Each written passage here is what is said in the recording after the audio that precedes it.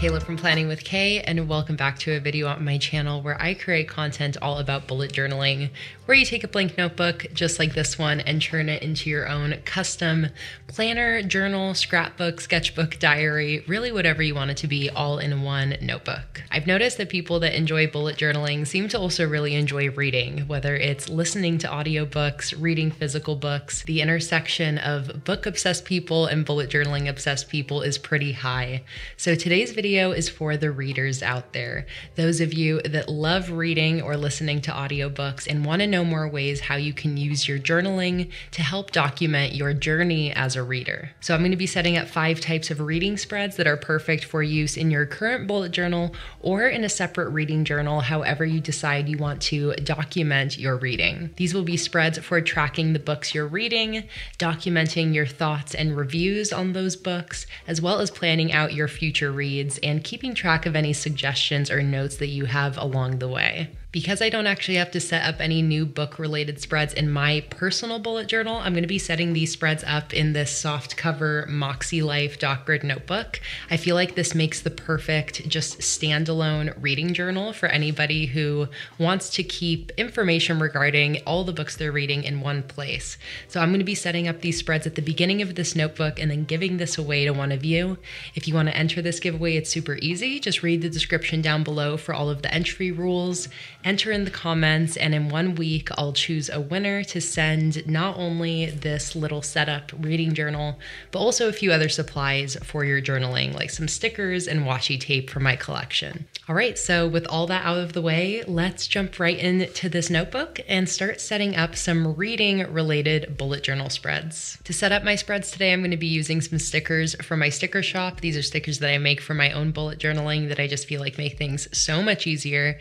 And I also made a few new sticker sheets specifically for this setup, like this bookshelf tracker sticker here that I'm going to be using a little bit later on. All of those stickers are available at planningwithkay.com. And I also have a couple reading related sticker bundles available as well if you want to stock up on all of my reading and book related stickers. I'm also going to be using some printables from my Patreon. These are just digital downloads that you can access under my $5 Patreon tier.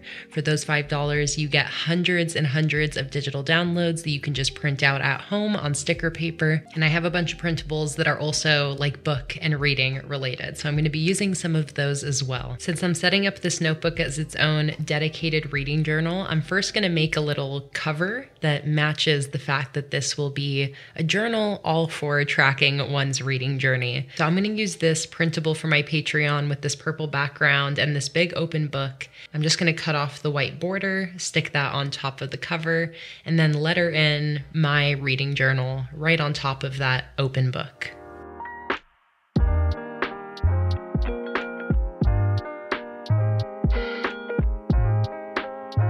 On this inside cover, I'm going to use this quote page printable. I'm going to stick this on the left with one of these empty title pages on the right, and I'm going to use that as a little this notebook belongs to section. All right, so with the cover and the inside flap all set up, those are the easy parts. So let's get into the actual reading journal spreads that we're gonna set up. All right, there are a few kind of awkward pages at the beginning of this notebook that are, I think, ruining the flow of it a little bit. So I'm actually going to glue these together. This is a good way to deal with those kind of, again, just like awkward first pages that don't quite make up a full spread. I feel like most notebooks have these awkward first pages, and some people skip them, some people use them for something like a key. For this notebook, I'm just going to use a glue stick and just glue the pages I don't want together. All right, there we go. So now it just flips straight to my first full spread, which is exactly what I want. Also, how cute is Luna? She moved a little bit closer to me. Hi, sweetie. How cute are you? All right, so the first spread I'm going to set up to begin this reading journal is a TBR spread or a to be read spread. Kind of rhymes to be read spread. this is just a spread that's all going to be about future planning books that you want to read, books that are suggested to you, books that you want to buy. And I'm going to have a place to compile all of those books that I want to read in the future on one spread. So I'm going to start off with a header at the top of the page, and then I'm going to split this spread into four columns for four different categories. The first category is going to be called On My Shelves. This is a spot to write down any books that you physically own and really want to get to reading. I don't know about you, but I definitely have a pile of physical books that have been sitting around for years that I do eventually want to get to reading, but they just constantly get forgotten about. So I think this is a great spot to highlight those physical books that you have sitting around. The second category is going to be called First on the List. These are for any books that you hear about and instantly know you want to read next. It's basically books that you're fast tracking to the top of your to be read list, books that you know are the ones you are most excited to read. The third column is going to be for suggestions. This is exactly what it sounds like. Whenever you are suggested a book or an audiobook to read, you can write it on this list. The fourth column is going to be called books to buy, and this is for books that you want to physically purchase and add to your collection.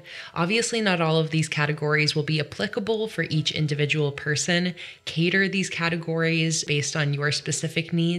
Maybe you want your TBR sorted by genre.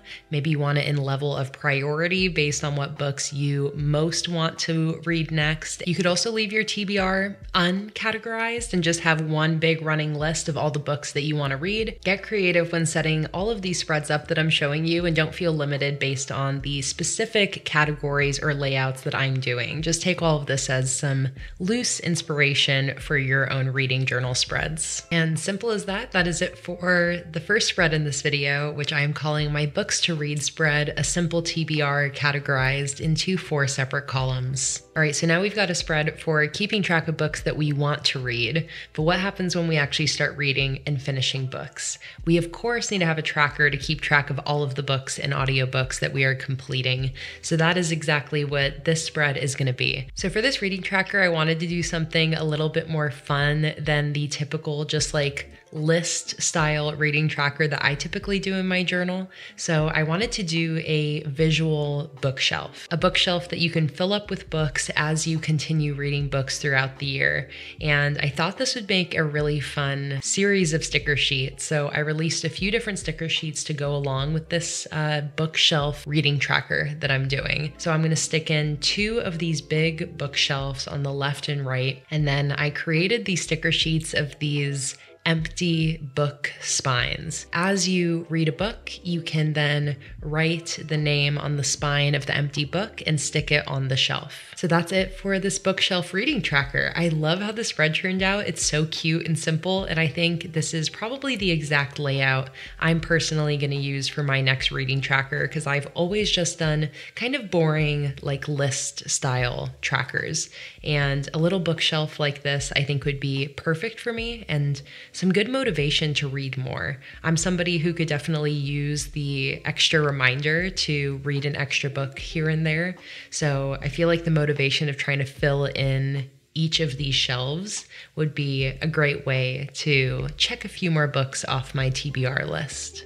So, the next reading journal spread I'm setting up is something I'm calling the best book bracket. Basically, what this is going to be is it's going to be a way to compare the books you're reading to figure out what your favorite is in a fun way that resembles a um, like competition bracket. So at the top of the spread, I'm going to create room for eight different books. And these are the eight books that we're going to have competing for the spot of best book. So we're going to have our eight books, and then every two books are going to be pitted against each other to choose a favorite, and you can see how the bracket works its way down, comparing two books at a time until at the end we get our favorite book of all of these. Now, I think it would be really fun to choose these eight books by month. So, for example, this month in July, choose your favorite book that you read and have that be the number one July slot.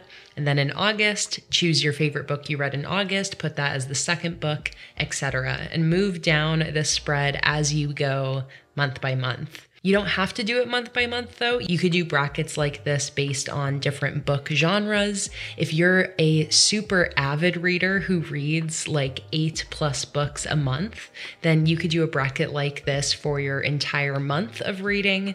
Again, cater this for whatever works for you. I'm somebody who only reads maybe like two to three books a month. So I personally would probably just choose a favorite book each month and do a spread like this to basically figure out like what is my favorite book of the year. I've drawn out these spaces to be the size of book covers, so you could just write in the titles in these spaces, or you could print out some book covers. I love printing out book covers for my different reading trackers, and all you do is you go to Google Images, you search up the book cover, you copy that image, and paste it into a Word document.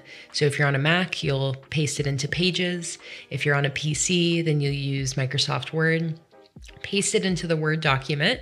And then somewhere in the Word document, you can type in the size you want that image to be. A standard size I often do is one inch wide, which makes a nice small little rectangular book cover. Make it whatever size you want it to be, print it out onto some sticker paper. I get my sticker paper from onlinelabels.com. And voila, you have a very easy way to actually paste in the actual book covers into your journal, which is just generally a really fun way to spice up your reading journal spreads. And that is it for the best book bracket, a fun spread, almost like a game to play with your reading, and a fun way to figure out what the favorite book that you're currently reading is. You could also definitely do a spread like this for other things besides books. I think about doing something like this with albums that you really like, doing something like this with shows, with movies. I love the idea of the spread, and I'm excited to apply it to other things, not just to reading. The next spread in this reading journal is going to be a spread for more thoroughly categorizing and rating the books that you're reading. So this spread is going to have two different pages to it. So the page on the left is going to be called ratings.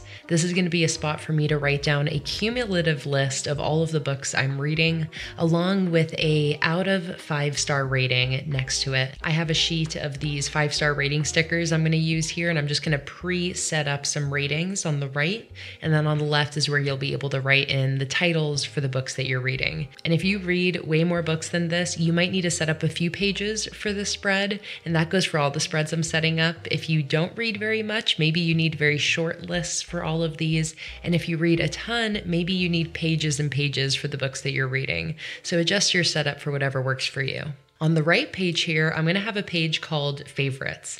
And this is just going to be a spot to highlight my favorite books. And again, for this favorites page, I would probably opt for the printed out book covers. You could also do another bookshelf for your favorites list. You could just have a normal list here. There are lots of ways to visualize all of these different trackers and lists for your book. But yeah, do whatever works for you. I really like the idea of just having a full list with ratings on the left and then a spot on the right to highlight the standout books on that list. And just like that, there we have my ratings and favorite spread. Okay, so the fifth and final spread that I'm going to be setting up today is one I'm actually going to set up in my own personal bullet journal because this is going to be a book specific reflection spread. So, this type of spread is going to be for those books that are so good that you feel like you just need to create an entire spread reflecting, journaling about it, rating it, reviewing it. And you know, honestly, this could be for books that are so bad too, really just books that you feel like you have a lot to say and you want a place to document it in your journal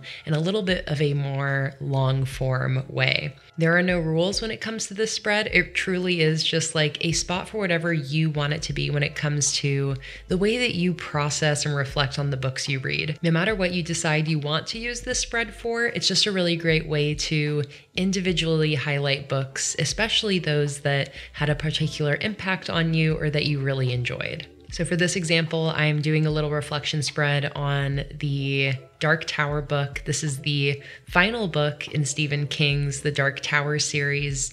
And I feel like I have a lot to say about this book because it is the end of such a long series. I also printed out a big book cover to stick in on the spread. But yeah, finishing a series, I feel like, is always such a proud moment. It doesn't even matter like how good the last book is.